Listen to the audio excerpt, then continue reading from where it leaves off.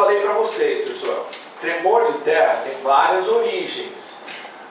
O abalo sísmico mais poderoso, mais destruidor, é de origem tectônica. E aí é aquilo que eu falei lá no comecinho da aula passada. Tem tectonismo no Brasil?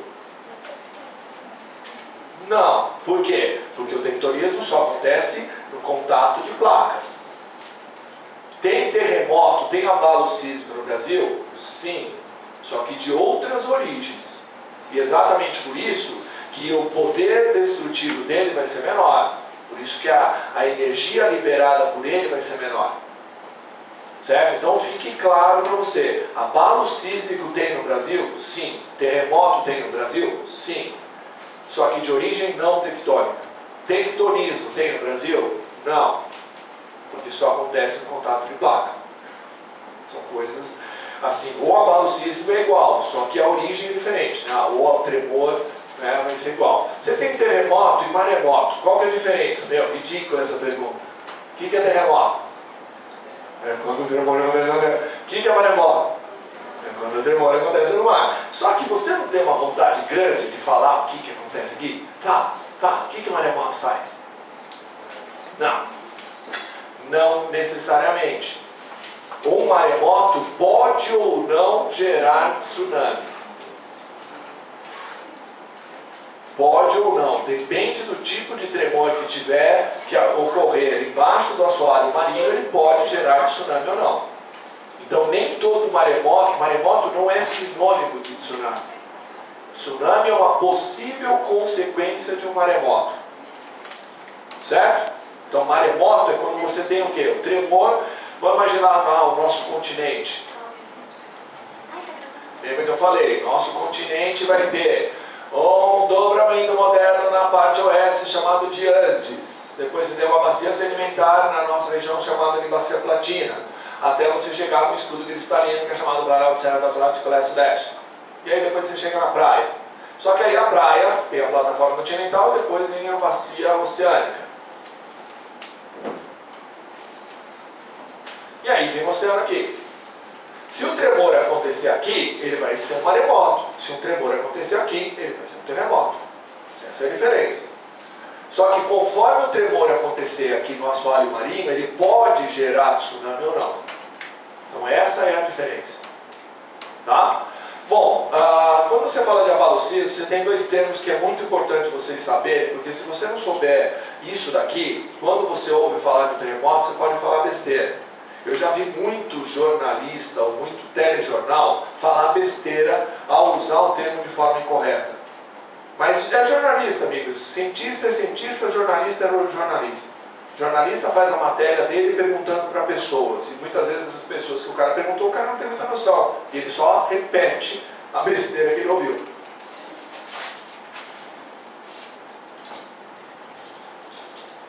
Eu fiquei muito triste com um amigo meu, chamado Evaristo Costa.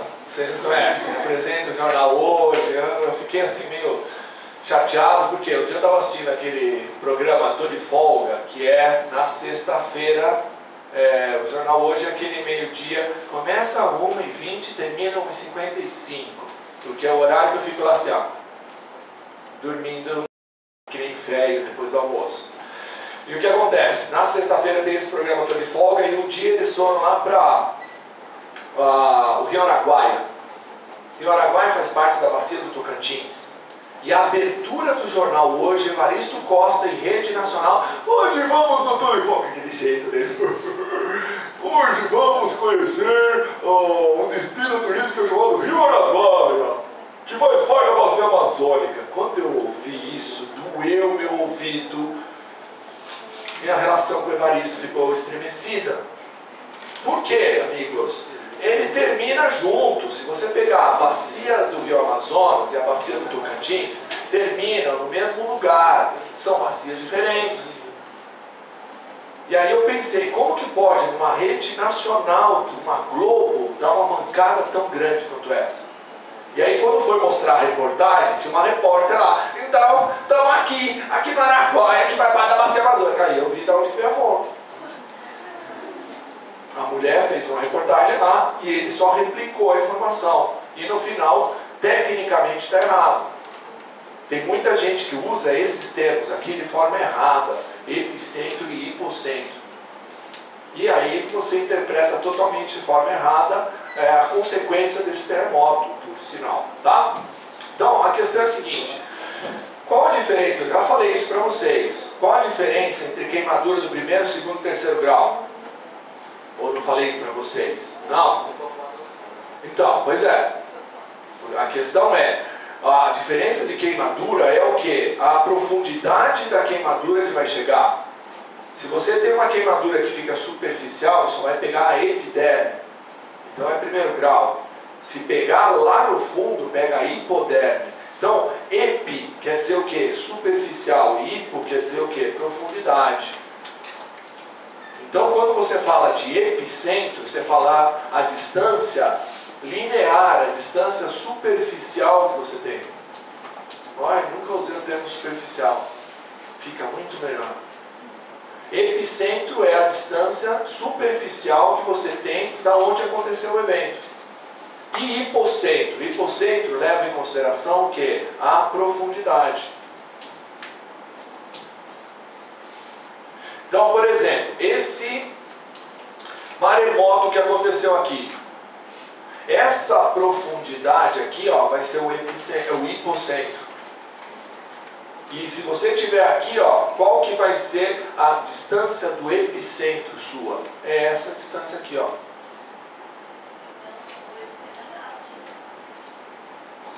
É relativo. É relativo exatamente por quê? Porque o deslocamento de um, um tremor, vamos imaginar que aqui, ó, aqui é o hipocentro. O deslocamento do tremor, ele é em ondas. Mais ou menos que nem quando você fica jogando pedrinha no lago. Ai, faz aquela ondinha. E quando vem um pato achando que é comida, você joga no pato. Fica mais legal. Só que o que vai acontecer? Depende do tipo de rocha. Se for uma rocha padronizada, você vai perceber que o deslocamento dela vai ser homogêneo. Agora, se você tiver uma rocha mais dura aqui, o deslocamento vai acontecer de forma diferente. Então o que acontece? Pode acontecer o, hipocentro aqui, ó, e quando você eu peguei um tremor no Brasil. Eu peguei um tremor. É louco, amigos. Eu não sei por que, que acontece comigo essas coisas. Sinceramente, eu não sei. Mas é que eu me exponho também. Eu vou para onde as coisas estão e as coisas acontecem quando eu estou lá. Eu atraio merda, eu acho. Né? Eu fazia é, geografia em Presidente Prudente 1988. Mais ou menos em abril Primeiro semestre, a gente morava numa república e era tipo terça-feira assim. Então dava 11 horas da noite, velho tu, qual que é a dinâmica de república terça-feira? Ficam falando merda, falando merda. Tinha lá no caso o cara que tocava violão, sempre tem um cara que toca violão, não tem problema, sempre vai aparecer o cara. E o cara estava tocando, naquela época, quem estava na moda era Engenheiros do Havaí. Então a música que a gente estava cantando é nas entrelinhas do horizonte dessa highway, silenciosa highway. Ficava lá cantando, é. 11 horas da noite ela chega, terça-feira, amanhã tem aula, vamos todo mundo dormir. Vamos lá escovar o leite, dar uma beber uma água e tal. 15 para meia-noite eu deitei na cama. E o que, que aconteceu? É, quando você liga a TV de manhãzinha, depois de ter assistido aula, a, a, TV de noite, o volume não está baixo? Você assistiu de noite, tá lá, assim, né? Legal, beleza. Né? Aí você volta para a mesma TV e liga no dia seguinte de manhã. Você consegue ouvir? Por que não?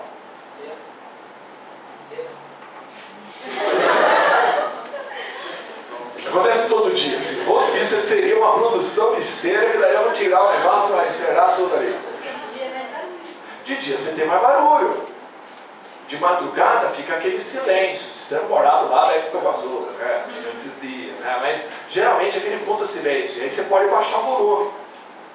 Então, meia-noite, eu deitei, 15 para meia-noite, deitei, fui lá dormir. A gente morava numa república que tinha portas assim, ó. Vocês já viram quando você mora numa casa que tem porta assim, passa caminhão na rua? Era assim, ó. Só que você não escuta esse barulho, porque você escuta o caminhão. Blá, blá, blá, blá. Só que acontece, meia-noite, naquele silêncio da madrugada, a porta da casa começou a fazer assim, ó. Todo mundo perguntou, caralho, imagina, nossa, todo mundo sai pra rua, pelo amor de Deus, eu fervendo lá, vai, tá mijando. Aí todo mundo falou, vamos comemorar. E foi, virou festa, todo mundo voltou bêbado, 4 horas da manhã, né? Festa na faculdade é só no tiro, caiu o giz, festa na queda do giz, né? Então, é muito louco, pessoal. Se esse evento tivesse acontecido duas horas da tarde, ninguém ia perceber. A gente só percebeu porque aconteceu exatamente. Imagine, ser no meio da Expo Iguaçu dar um negócio desses. Você fala, faz de novo. Né? Você não ia perceber. É muito louco. Aí no dia seguinte tinha lá um professor de geologia explicando que o quê?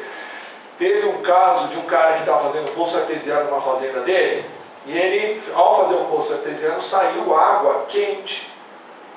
E aí ele não teve dúvida, fez na fazenda dele um parque aquático. E aí encheu de água quente. Quando ele inaugurou, seis meses depois, acabou a água quente, ele faliu. É, e o que acontece? Aquela aquífero que tinha água ficou oco, diríamos assim. E ao ficar oco, ele teve uma acomodação de rocha que gerou o tremor lá em cima. Só que foi um tremorzinho em escala, mais ou menos 2.8, 3 é fazer barulho só e que se fosse de dia ninguém ia perceber.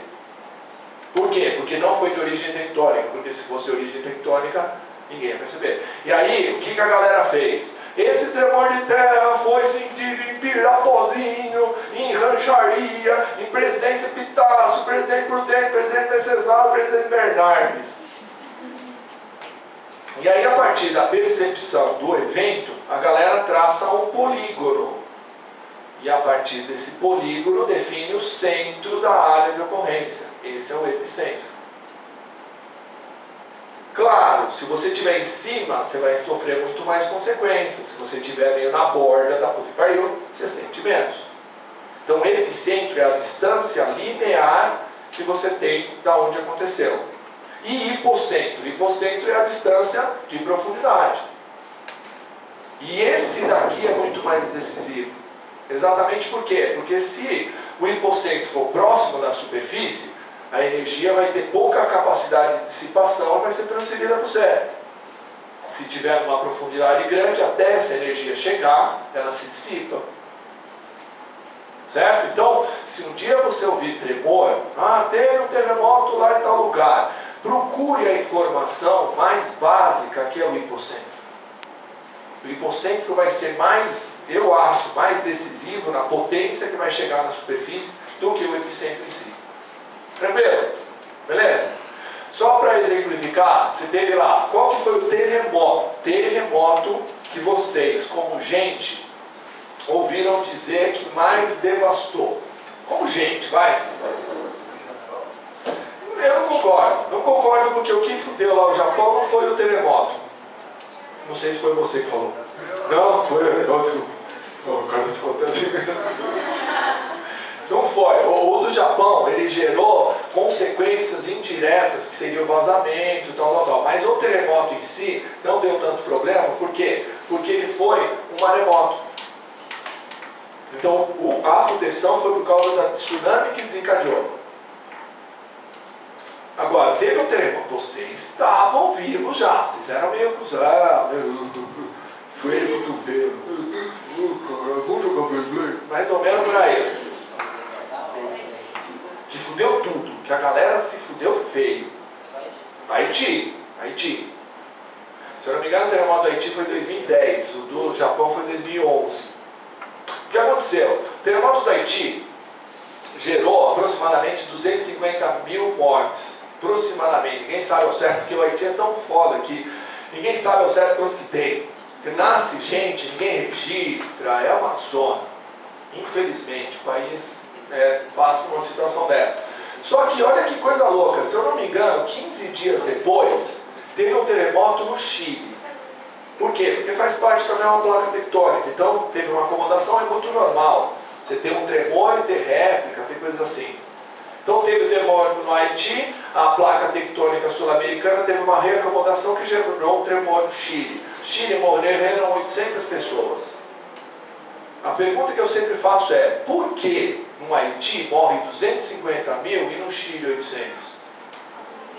A resposta que sempre aparece é essa. Mas a questão é: se o terremoto que teve no Haiti acontecesse no Japão, eles se fudiam. E aí? Você continua, então, por isso, você continua com esse argumento? Não. Eu concordo, concordo. O Chile tem um preparo muito melhor do que o Haiti, mas não foi isso. Tanto é que, olha que coisa louca, o terremoto do Chile foi mais forte na escala Richter. Mais famosa, Richter. Se eu não me engano, o terremoto do Haiti foi 8 e na escala, na escala Richter. E no Chile foi 8.2. Isso aqui é terremoto foda. É terremoto porreta. Pois não. Posso tentar responder de novo? Sim, Porque no Haiti estava 8%? é por aí. Não é, aí, cuidado, hipocentro é profundidade. Ah, você não estava. Não, aí tá, ó, juntou os dois, por isso. O Haiti foi, foi, foi foda. Mas por isso que eu estou falando, a questão de estrutura faz a diferença? Sim. Mas o que fez a diferença mesmo foi o quê? O terremoto do Haiti, ele aconteceu a uma profundidade de mais ou menos 5 quilômetros, embaixo da cidade de Porto Príncipe. Que aconteceu? Fez assim, ó. Os negão foram pra rua e voltaram. E o do Chile? O do Chile aconteceu o epicentro a 30 quilômetros e o hipocentro a 30 quilômetros de profundidade. E a energia você mede aonde? Na origem do tremor. Então o que acontece? No terremoto do Chile, até a energia chegar na superfície, ela foi dissipando. E, e a cagada foi o seguinte: não ia morrer ninguém. Sabe o que aconteceu? Olha que lindo. A América do Sul, a gente fala que Chile é um país ah, que realmente é, mas meu, a gente é latino-americano. Tem dinheiro no bolso, não vai nem de manda dinheiro, manda vai que seja. O que acontece? Os caras, quando teve o tremor aqui, eles detectaram. Falaram assim, vai ter tsunami. Todo mundo, ai meu Deus, meu Deus, meu Deus. Não, não vai ter não. E teve. Então a galera saiu, falou, "Não, vamos lá para as montanhas, run to the hill. E ficaram lá. Aí falaram, não, pode voltar que vai ter nada, ah, beleza. Então foi erro de informação, foi cagada. Não morreria ninguém. Aí eu concordo com a estrutura. Nisso eu concordo. Agora, foi a questão de epicentro e hipocentro. Mas então o Chile a energia está maior. porque Sim, a- então, mas, é por isso que eu estou falando. Quando você fala de energia, você está falando de uma coisa que é chamada magnitude. E a magnitude é medida na origem do fenômeno, que é lá no hipocentro. E aí, dependendo da profundidade, dependendo da rocha onde ele acontece, dependendo. Vai chegar uma maior ou menor energia aonde você está. Então a energia do Chile foi maior que a energia liberada do Haiti. Só que essa energia foi transferida direto para os caras. E essa daqui se dissipou. Bem mais profundo. O Foi mais distante. Não, o epicentro e hipocentro foram maiores. Por quê? Porque aconteceu distante da galera e numa profundidade grande. E o do Haiti não, aconteceu embaixo de onde você está e pertinho de você. Então, jogou você para cima. Certo? Tranquilo? E aí aquilo lá que eu falei para você. Meu, a, a estrutura que o país tem ou não, é claro que vai minimizar ou não.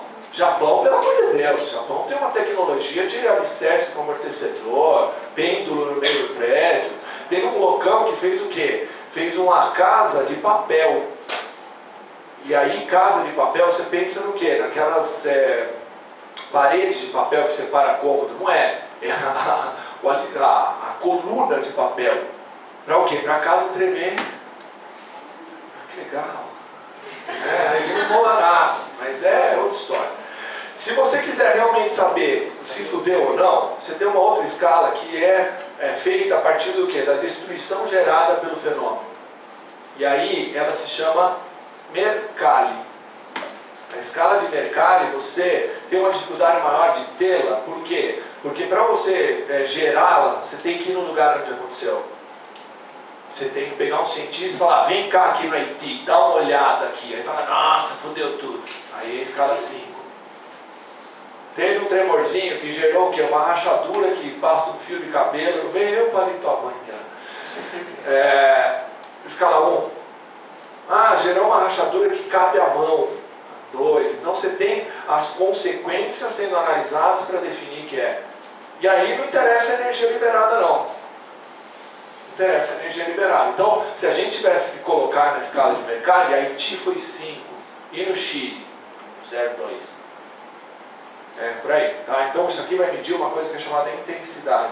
Mas ela não é uma coisa social, não. Não, não. Não porque se analisa muitas vezes é, regiões que não têm interferência humana. Né? Então é rachadura de rocha, deslizamento de terra, coisas assim. Certo? É